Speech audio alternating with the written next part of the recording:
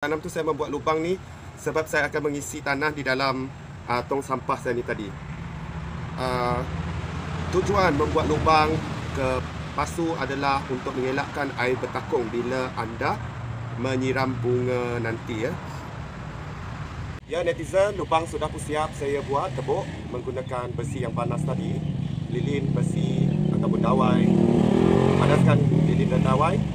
Dawai tebuk bila dia panas. So lubang telah pun siap. Jadi saya akan menanam lidah mak mertua yang sopan dan santun. Right? Uh, apa yang kita perlukan adalah pas, uh, pasu ni atau tong sampah berwarna putih.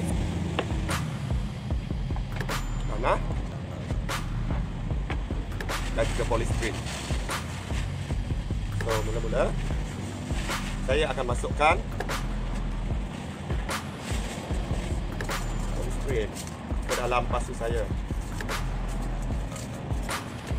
Tujuan polystyrene ni adalah pengairan dan uh, based on my experience, polystyrene ni uh, akan dapat berjalan di dalam uh, atas polystyrene ni. Dia tak mengganggu. Sebaliknya dia memberikan pengairan uh, yang bagus untuk uh, bottom of your pot lah. Dan juga ringan. Ya, dia boleh meringankan beban pasu tu tak berat. So, ibu-ibu yang mengandung dia uh, pun okey juga. Dia tak berat ya. Bila you angkat dia. Okey. Saya akan uh, pecahkan semi kecil. Seterusnya saya masukkan topsoil. Topsoil saya akan masukkan atau ah ah lebih jauh. Okay, saya akan masukkan topsoil. Ya. Topsoil.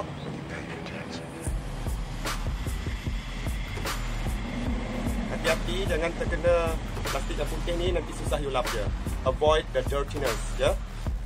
Masukkan dan saya akan mengukurnya. Macam manakah pandangan dia bila dah selesai? Oh betul. Macam manakah pandangan dia bila dah selesai nanti? So it will roughly look like this, ya.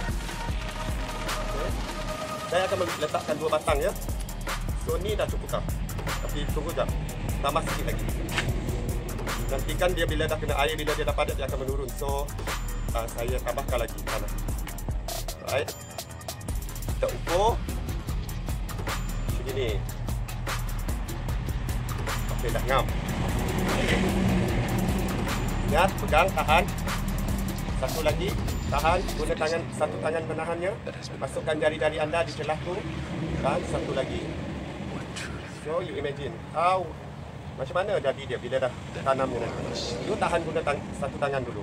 Tahan guna satu tangan dan masukkan tanah semula. Kalau boleh ada batu ke apa ke, you gunakan letak dekat pangkal pohon dia tu agar dia menjadi grip, memegang sebab bila you letak semua tanah, bila dia basah dia akan itu tak ada grip, tak ada tahanan. Tak ada penahan dia ya.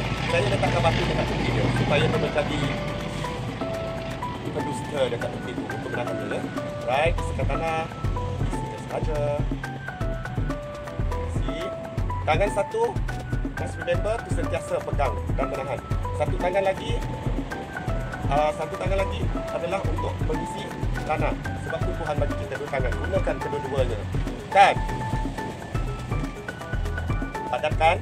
Tak apa dia padat. Sebab bila dia dah basah nanti dia akan okey. Right, saya masukkan tanah. Maybe I can let go one of my hand.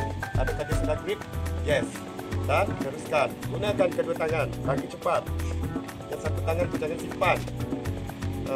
Okay, dia dah padat. Dah selari dengan lubang ni. Dia kena bawah daripada lubang ni.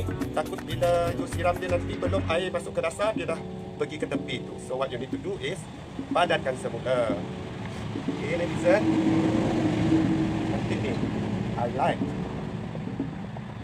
I like this idea. So, kebanyakan customer saya dia tak suka pasu hijau, dia tak suka pasu plastik biasa-biasa. Ni saya dah bagikan pasu berwarna putih dan boleh didapati di mana-mana. Kalau uh, DIY dah habis, pergi cari dekat Dinso. Kalau Dinso dah habis, pergi cari dekat Superset. Kalau Superset dah habis dan ada nak ke standard sikit, naiklah ke paksa ke Ion Mall. Mesti ada brand Jepun lagi tahan. Yang ni made in China apa kurangnya. Right? Tahan. Now kita cuba goyangkan. Saya memang sangat pantang dengan pokok yang goyang yang masih tidak, kukuh nanti tumbang ya. Okay, it's very strong already.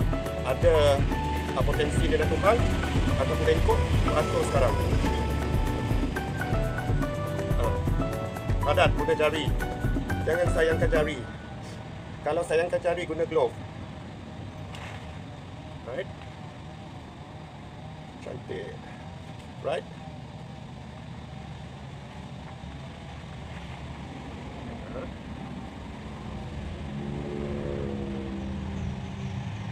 Okey, dah siap. Dah cantik dah.